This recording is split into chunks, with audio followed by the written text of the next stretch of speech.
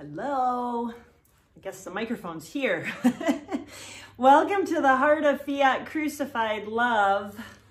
I'm so happy to be back with you this week. It's been a bit of an interim, um, just with the busyness of the holidays, and I had to work double, triple time for the family that I help take care of.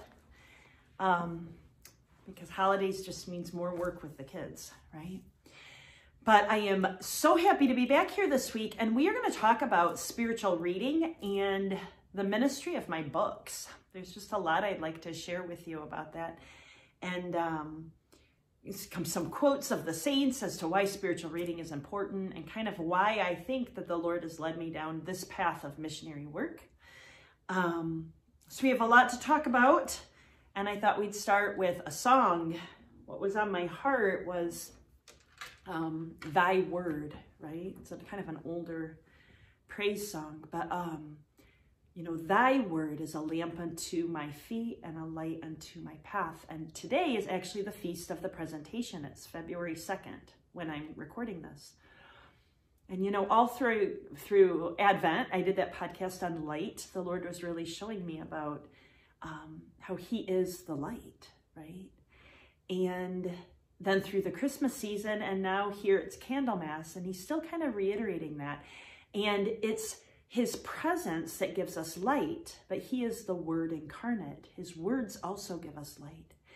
And when we receive the Eucharist, we become a tabernacle of that light and his presence, but also when we speak his words, when we allow the Holy Spirit actually to speak through us, then we are also light bearers to the world, right?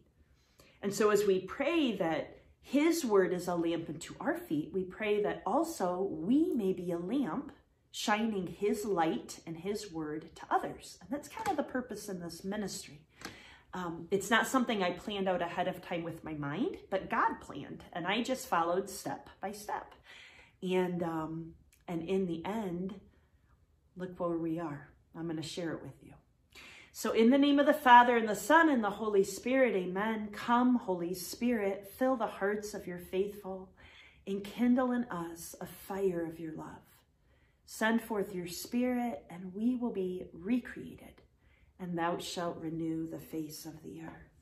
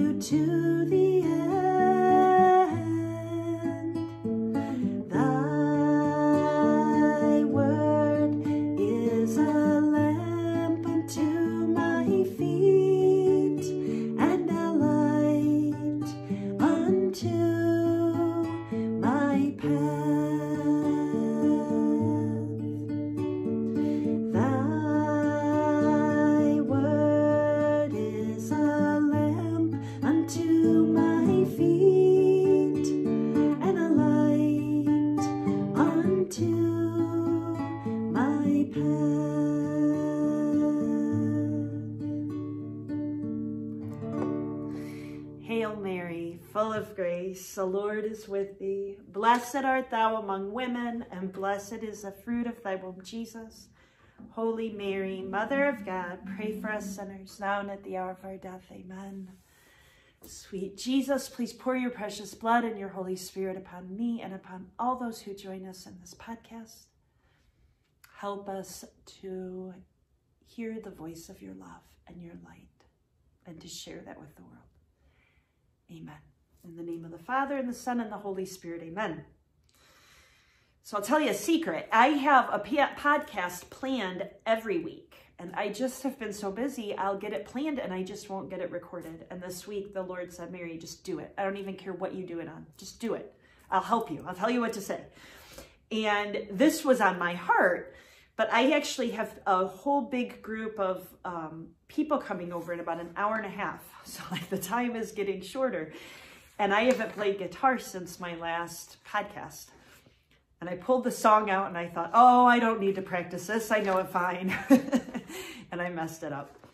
So sorry. but better that than nothing, right? I want to share with you so much beauty because the Lord is always sharing his beauty with me. It's just finding that time um, to be able to do all of the things he asks of me to do, right? So you can pray for that, that the Lord blesses me with the time and the money I need to continue on the work that he's entrusted to me. But I wanted to start at the beginning here, kind of on that same theme as thy word, just reading the scripture from the beginning of John. In the beginning was the Word, and the Word was with God, and the Word was God. He was in the beginning with God, and all things came to be through him. And without him, nothing came to be. What came to be through him was life, and this life was the light of the human race. And the light shines in darkness, and the darkness has not overcome it. I, I, just at the beginning of time, what did what's the first thing the Lord said? Fiat lux, let there be light. It was an act of giving life to creation, right? So it was his word, who was God, who was life, who was light, and who is love. And the Lord, in creating, bestowed something of his own presence on creation. And then um, primordially on mankind, on man and woman, right? He was in the world, but the world, and the world came to be through him, but the world didn't know him. He came to what was his own, and his own people did not accept him. So God created all of creation and man and woman to have this relationship with him. And what did Adam and Eve do? They disobeyed, they doubted, they didn't trust. And through all of that, sin entered in and their relationship with God was broken. And so, you know, the Trinity, I was going to say the Father, but it was also the Son, it was also the Holy Spirit. You know, they're, um, they don't give up easily. You know, there's that poem, The Hound of Heaven, you know. He searches us out and he prepared his people all these years and he came to earth and he took our flesh in the incarnation. The word became flesh. He made his dwelling among us. We saw his glory. The glory is of the Father's only Son, full of grace and truth, right? And yet so many, when he came to us, who were his own, did not accept him and they didn't know him. The idea of spiritual reading, right, is that, you know, it, the most important spiritual reading is reading from scripture, right? Reading from the Bible, knowing that actual word of God, right? It's verbatim, the words of God. And they give us life and they give us healing. You know, I've heard of stories where people repeat certain scripture passages and they're healed or they're delivered from evil or their their their fear is taken away and they're given courage right? Um you know when somebody is overwhelmed with a task before them for example they could say i can do all things through christ who strengthens me. I can do all things right? And it's not just the power of the words although they have power but it's also the transformation of the mind and the heart where by meditating on these words inspired by the Holy Spirit, one begins to think like Christ, right? People, the world did not know him. Well, you start to know him. You know that what by saying those words, I can do all things through Christ who strengthens me. You know that Christ is strong. Christ is love. We are weak, but he can enter in and strengthen us. So it educates us, but it educates our hearts. It educates our hearts in love. The love of the Holy Spirit that inspired those words of Scripture fills our hearts and gives us strength in those situations. So, Scripture is very important to read and to meditate on and, and to ask the Lord, What are you saying to me today? Right? And yet, um, throughout the centuries, the saints have also written meditations on Scripture and other forms of spiritual reading. And, and they all agree that it's very beneficial for the soul to read um, explanations of scripture, right? And to meditate on them. Because one, Satan, what did he do with Adam and Eve? He, he sowed a lie. Don't believe your father. He's not trustworthy. Don't listen to him. He wants to take your power, right? But if he, they were meditating on those first words that the Father had said in the garden, fiat lux, let there be light, they never would have listened to the enemy, the king of darkness. They would have clung to that light. They would have said, my Father who gives light and gives life would not lead us astray. So it also changes our heart and it strengthens our love relationship with God. And it's interesting to see how God has used books from the history of, of even Israel, right? He gave the law of Moses written on stone. Those were like some of the first books, right? He took his own finger and he burnt into stone the Ten Commandments. He didn't just tell them, he wrote it.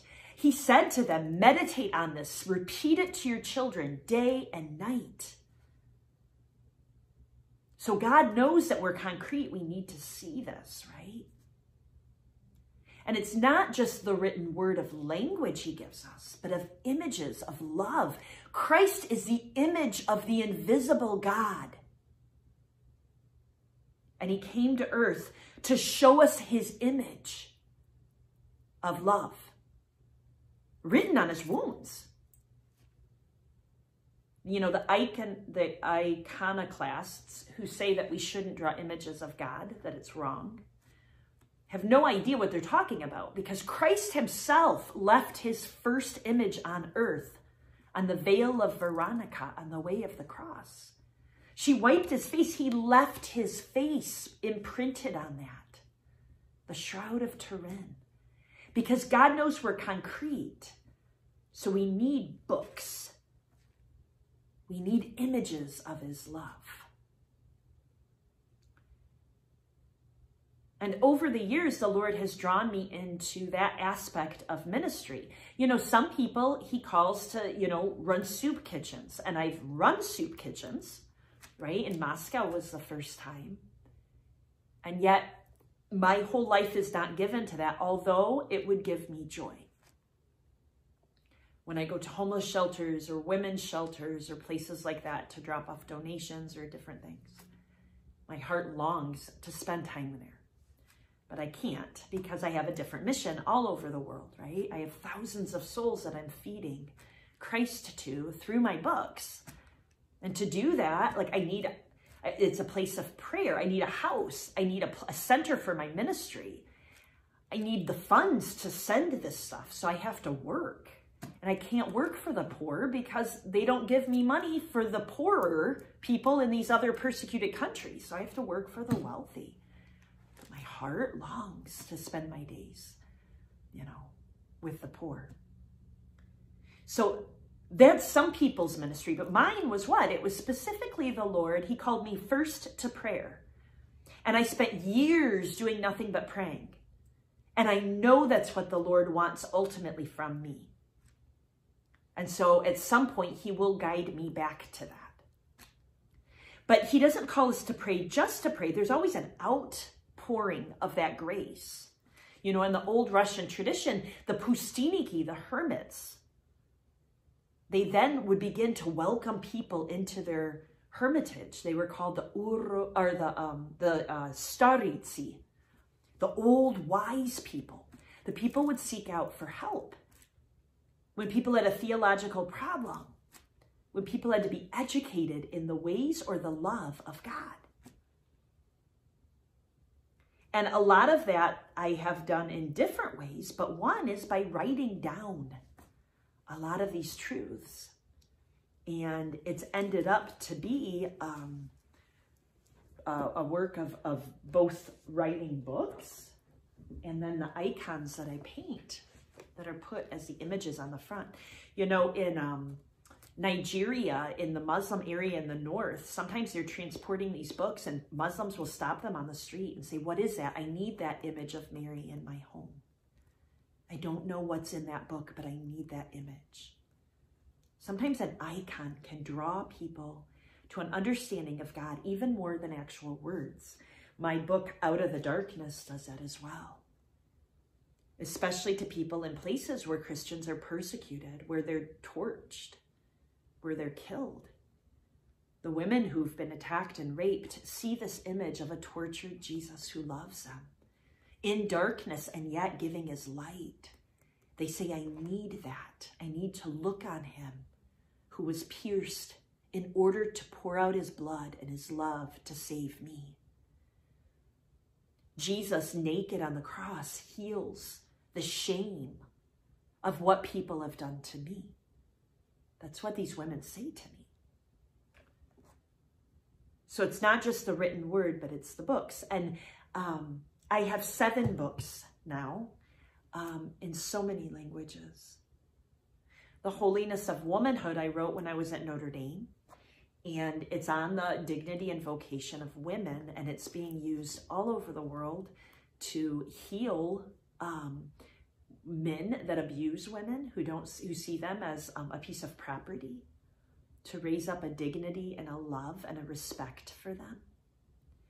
It's being used to heal women who hated themselves because in their society only men are, are respected. It has healed women who did not understand their vocation of motherhood. It's made them into mothers not only to their own children whom they would have aborted if they hadn't encountered this writing, but to these large number of groups of, of prayer groups that we have of children. In Pakistan, we have 800 children in our Children of the Cross prayer groups. And many of them are run by women, not all. But this book has been really powerful and here I thought that it would be a tool in the United States. It's got a great, um, a great review here by Father Mitch Pacwa from, um, he founded Ignatius Press and um, he is from EWTN. He said it was the best book on women's spirituality he'd ever read.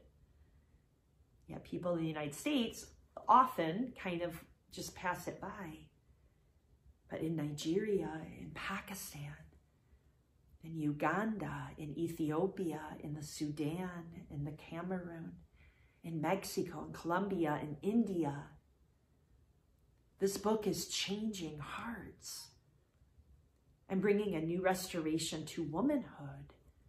And, and um, it's being a bearer of peace to these places. So it's really beautiful to see. You know, I tr was trying to paint an image of the Maria Bambina and I did her face and I thought that looks like an adult face. I'm going to do it over. But I kept the face and I thought, well, I'll paint an image of the Immaculate Heart of Mary. I don't really need it, but I'll do it. And that night I put it in my bedroom and it was glowing all night. Literally light was coming from it, like into my room. And I thought, well, this image must be important. I had no idea, but this image is known all over the world as an image of Our Lady's purity and humility and the brightness of the fire of the love of God that comes to us. So it's really beautiful to see. And it's healed many marriages. It's protected many young young women and even the Muslim women really love this book. The next book that I wrote was Out of the Darkness and it's on the interior passion of Christ. I wrote the first half in Russia, knowing it was for Russia because there's such a darkness there. And then the second part is meditations on the way of the cross that I wrote living as a hermit in a cave in, in um, Spain. And I'm so excited. Finally, after years of looking, I found a Russian translator in Uzbekistan, Ekaterina, and she's working on a Russian translation so we can get this distributed throughout Russia to the people who suffer there. And then to the former Soviet bloc countries, to the Ukraine, to Belarus, to Georgia, to Uzbekistan. We would love to provide copies if the Lord will send us money and, and, and people to arrange that printing because they're bound in darkness. And I remember that when I was in Russia to see how these people were bound in darkness, um, crucified, but on a cross where Christ was stolen from them. They didn't understand.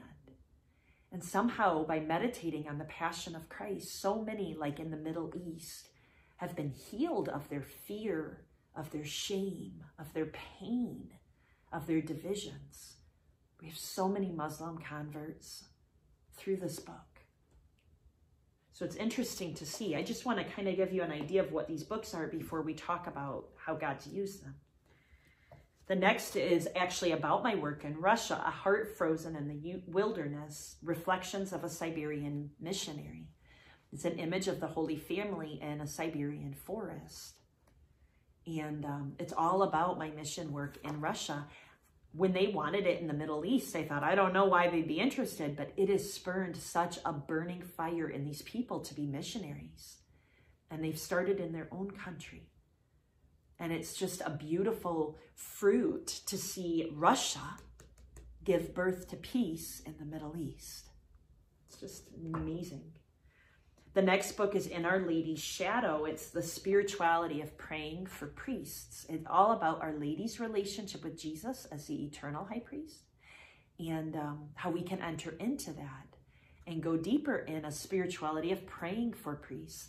My Children of the Cross prayer groups were supposed to be prayer groups for priests, so they could gain a lot from this. And yet, um, there's so many situations of persecution in the world, we decided to make them twofold. So therefore, um, they pray, they're supposed to meet once a month, but now they're meeting every week over overseas. And they pray for priests and then for persecuted Christians. And um, they also include in there the most persecuted, which are the unborn babies, right? That a lot of times little girls are killed because um, they're girls. And so it's really beautiful to see all of these children um, entering into Our Lady's relationship of spiritual maternity for priests, right? So beautiful. Um, then here I was doing this live um, Facebook rosary and Facebook has just really blocked a lot of people from coming and, and they were upset. So I thought, well, I'll just publish a book with all the prayers I use and you don't really need me. so it's beautiful to see Mornings with Mary and it's a rosary prayer book. But the most incredible work is that this has been translated into Urdu in Pakistan and into Dari, which is the language of Afghanistan. And in this book is like the St. Michael prayer, the rosary, like all these basic prayers, the litany to the Sacred Heart. Well, it's the first place in the Middle East that people are praying these prayers in their own language. In Afghanistan, nobody's ever known the St. Michael prayer in Dari. And yet there's people in hiding that now have resources that they didn't have. Imagine the supernatural power of praying the St. Michael prayer in your native language. And in Pakistan, they're using this book. They said that even the priests and seminarians were embarrassed that they didn't know all these prayers, these traditional Catholic prayers. And so it's being spread there. It's also being used heavily in Nigeria with the prayer groups and the children are learning the litanies and they're, they're meeting and um, it's very, very beautiful. Then the next book is Raising Children of the Cross, the spiritual formation of children. And the beginning just kind of goes through um, Our Lady and Jesus in their infancy, their holiness in their childhood, and what Christ says about children in scripture. But then about the spiritual formation of children, how we need to form them to be saints. And then it leads you directly into forming these prayer groups because we need to raise children of the cross children who know and love Jesus crucified. Because this world, to be Christian is to be crucified in one way or another. So they have to be raised to be aware of that. And then Christ will enter in with his healing, resurrected love. But it's been a very powerful tool as they're forming these prayer groups of children to have a resource. One of my favorite chapters in this book goes through all the, well, not all, because I've read about more since I published this, um, but many children saints, um, children who were canonized even as children, to kind of show the kids you can be a saint even at age seven or at age 15. God has a plan. And then the crowning work, I feel like I still have to write. I have books I've, I've been asked to write, so I'm not done. But I feel like the crowning work of my life is this book, House of Gold the Maria Bambina. It's a Marian consecration to the Immaculate and Sorrowful Heart of Our Lady, especially under the title Morning Star and Mystical Rose. Imagine leading all this army of souls throughout the world to consecrate themselves not only just to Our Lady, but to her infant heart. The more humble she is, the greater the Lord shed his, sheds his power through her. When was she more, more little and weak and humble than as an infant? And so we consecrate ourselves to her, even as an infant, as our immaculate mother and our sorrowful mother, as our mystic rose, who kept all the thorns to herself and gave us only the fragrance of her love, the morning star, the star of the sea, who lights our way to Christ in the midst of a darkness.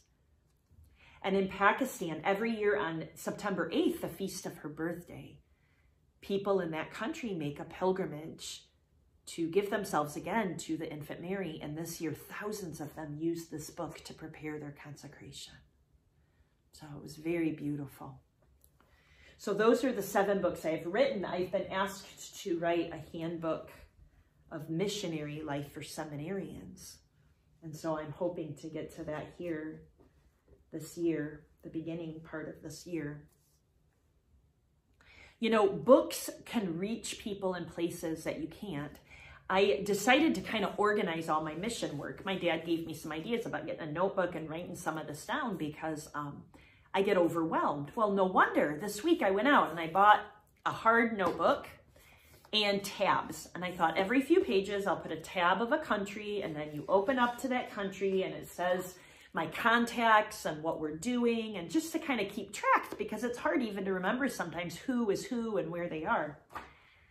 I have 18, 17 countries because Malawi has two languages. We are doing work right now. I'll just flip through these in Pakistan and I had to add Malawi today, so it's kind of out of order. Um, Nigeria, Afghanistan, Colombia, Mexico, the US, Belize, India, Ethiopia, Uganda, Poland, Russia, and then the former Soviet countries will go under that, Cameroon, Brazil, Ghana, and the Sudan. Isn't that incredible? Here I wanted to be a missionary when I grew up. How could you ever be a missionary to 17 countries simultaneously? Through books. through art, right? It's so incredible to me. And the people who get these books are like the priests, the sisters, the catechists, who then go out to the larger group and they're all running retreats and teaching this. They're taking it into schools and spreading it. Um, so it's really beautiful because it reaches way more than the numbers that we have written down. I think in Pakistan, we had um, 6,000 books to Afghanistan, 7, 8, 9, 10, 11, 12. So I think we've printed 18,000 books in Pakistan. In Nigeria,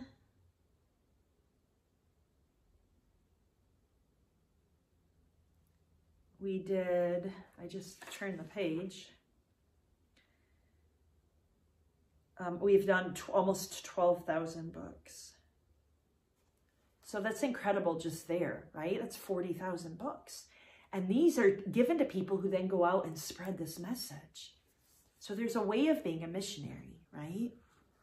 Here I was prevented from not having the financial support that I need from living the mission, the vocation I lived all of my adult life, which was one of prayer and mission, right?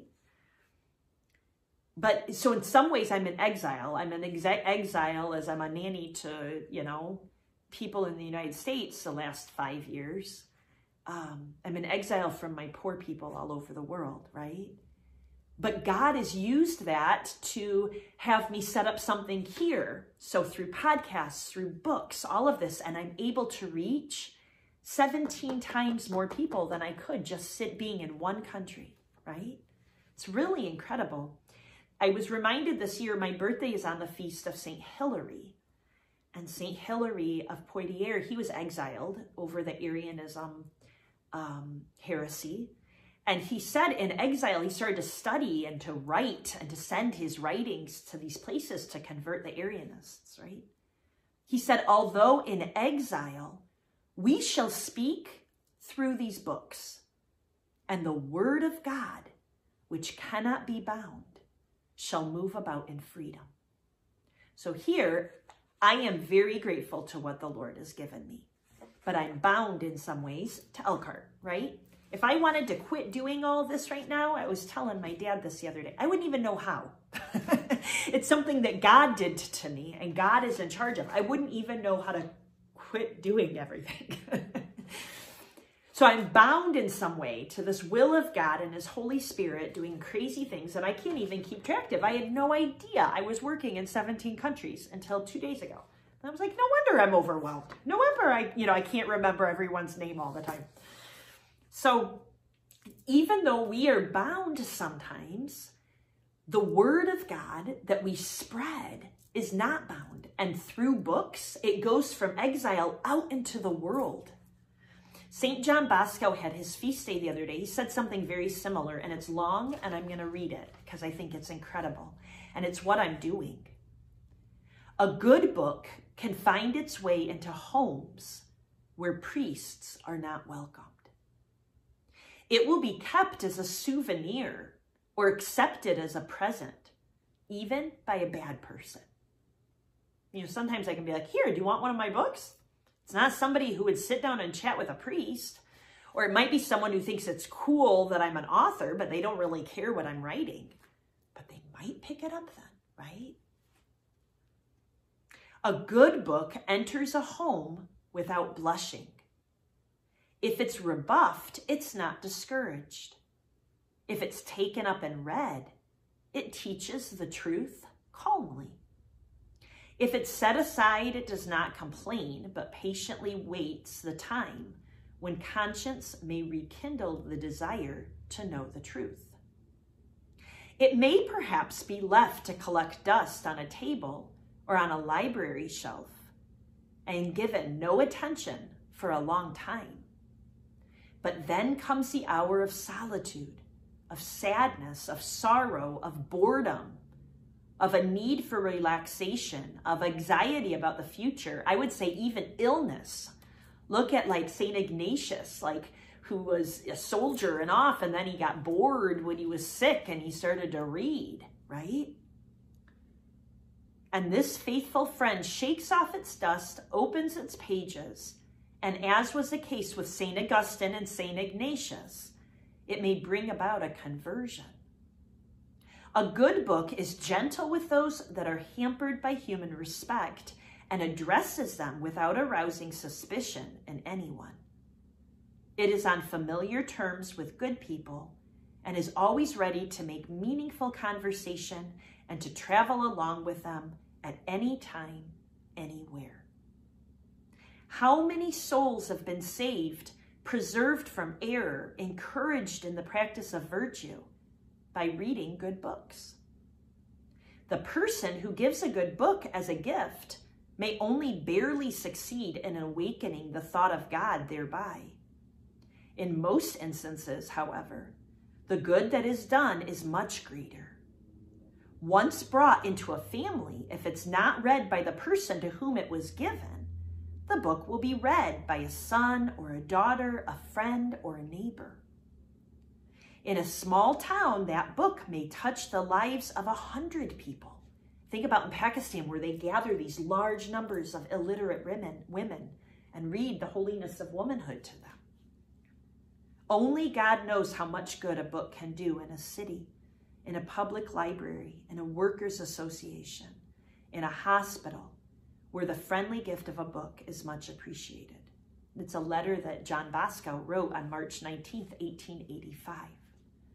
I remember doing an interview with Dr. Cynthia Toolin Wilson, um, who is, I think she's a dean at um, Holy Apostles, the academic dean maybe, but um, she was saying, you know, how she loves that ministry of, of books, you know, that I've kind of done too. She's like, you are having conversations with people who will live a thousand years from now, you know, and think about it. Think about when we pick up and read the writings of you know, the church fathers or, you know, even the gospel, you know, um, or, you know, saints that lived in 900. They're having a conversation with someone who lived thousands of years later.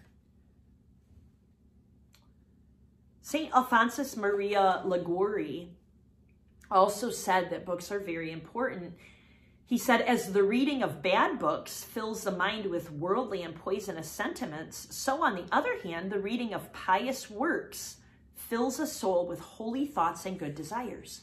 The other day, I saw a video of these poor street children, like in Vietnam or something, and it broke my heart because a guy walked by and like bought in these nice clothes and bought them French fries and gave it to them and walked off. And I thought, how in the world did that man just leave these poor children alone on a on a street? right? I mean, it's nice he bought them french fries, but man alive, take care of the children. And I said, Lord, I cannot reach all these children. And he said, oh, but you're educating the mind and the heart of people all over the world who will be inspired to go do that, right? They'll encounter your work and their hearts will be open to the work of God. Well, that's what Alphonsus Liguori said. They will be filled with holy thoughts which save their own souls, and good desires, desires to help others.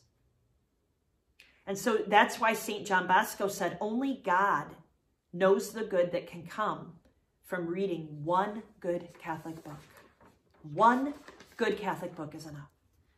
So what does my ministry do? I have seven that we're trying to spread to people who are hungry. This is not like, sometimes here in the United States, we'll have books sitting in the back of church and like, they're given away like candy and people will take them, but they never read them when they go home. Sometimes they do, and I hope they do. But these books are given to people who travel miles on foot. A woman in a wheelchair traveled a really long, difficult way to a seminarian friend of mine and she said, I have been begging people to find me a book of Mary Kloska's. I was told you had them. These are people that are uh, like burning with a hunger for what God is going to share with them. And so what God shares with them is way beyond the words that I have written on these pages. He uses the images and sometimes they say it's just looking at my picture on the back, knowing there's an American woman who loves them that opens their heart so that he directly can change their lives or can encourage them. St. Philip Neri said, reading about the lives of the saints is a great means to preserve piety. If you want to grow in the virtue of being pious, to be inspired to be saintly, read the lives of the saints, read spiritual things. St. Jerome said, when we pray, we speak to God, but when we read, God speaks to us. How humbling to think he wants to speak to the world through what I wrote in my living room, right? But that's why I'm doing it. That's how he's using me. St. Alphonsus Liguori said, without good books and spiritual reading, it will be morally impossible to save our souls. If people, that's why when people read the holiness of womanhood, like they convert from being pro-abortion. They can't go to heaven if they're murdering children. And so by reading this, they come to see their real vocation as a woman. Sometimes they need to go to confession. Sometimes their ignorance isn't a sin, but then they're educated and their souls are saved and they can save other souls. So when people say, why do you give books in Africa when they're starving? Man does not live by bread alone, but by every word that comes forth from the mouth of God. Right? That's what Christ said. Sometimes there's things that people need that's greater than food. And if you can get people to read the word of God, then instead of me sending one loaf of bread, you've got a hundred people working to provide bread for the poor. It's actually more economical. St. Paul of the Cross said, prayer, good reading, the, fre the frequenting of the sacraments with the proper dispositions, and particularly the flight of idleness. These are, believe me, the means of sanctifying yourself. So he saw the merit of good reading. It's very important for the interior life and growth and holiness. Why should that only be available to the wealthy in the West? who have bookstores galore. Many, many Africans own one book, and it's one of mine. In Afghanistan, if they own Bibles, they're murdered. But the Taliban hasn't figured out that my books have scripture. So their only connection to the church is through reading Pope John Paul II's teaching on the vocation of, of the holiness of women. It's, it's really incredible. St. Thalassios the Libyan, I've never heard of him, but he said, spiritual reading and prayer purify the intellect, while love and self-control purify the soul's passible aspect. So your intellect is purified. You come to have the mind of Christ when you read things spiritually, when you meditate on them. And even Padre Pio, who was less of an intellect, right? He wasn't like St. Jerome, he was pious, he was simple, he heard confessions, he gave very practical little advice to people, right? But he, he encouraged his spiritual children in spiritual reading. He said, help yourself during this troubled period by reading holy books. This reading provides excellent food for the soul and conduces to great progress along the path of perfection. Good spiritual reading can be a powerful instrument to fly along the way of perfection. By no means is spiritual reading inferior to what we obtain through prayer and meditation. It's just as important as prayer. In prayer and meditation, it is ourselves who speak to the Lord, while in holy reading, it is God who speaks to us. Before beginning to read, Raise your mind to the Lord and implore him to guide your mind to himself, to speak to your heart and to move your will. So the saints see a great merit in spreading spiritual reading. So practically for you, here we're going to go into Lent very soon. I encourage you to get some good spiritual reading. If you have not read Out of the Darkness, it is oftentimes people's favorite book. Get it. Meditate on the Passion of Christ. Just dive right into Lent. I'm telling you, it's going to help. It will, it will just feed you right into prayer. Last year or the year before, I tried during Lent a couple times a week to do a live um, Chaplet of Mercy and read some of these stations out loud. Perhaps I'll be able to do that this year. I'm not sure. My schedule changes all the time.